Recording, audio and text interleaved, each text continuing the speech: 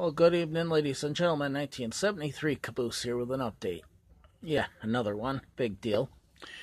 We have uh, almost completely bought out on any more trains. I p- picked up a couple week, a week or so ago with uh, two passenger sets, which you've seen in another video, a, a New Haven passenger train set, just the cars.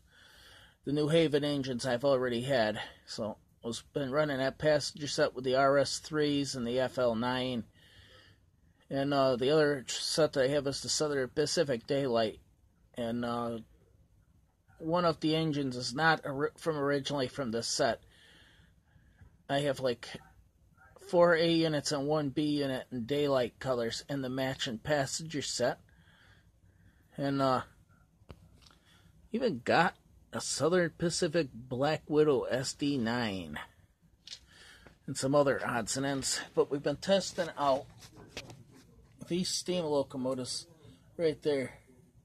Them three. And the Jupiter, the red and silver one. Like right next to the SP Daylight. Right between the Conrail and the SP Daylight equipment. We're going to put this guy on next. This is a consolidation. I never had one of these on the layouts, first I know. And it's Long Island Railroad 156. We're going to see how good it does.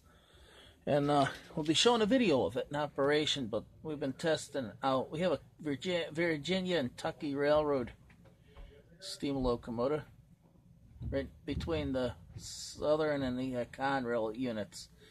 Actually, the Southern steam locomotive and the Conrail GP8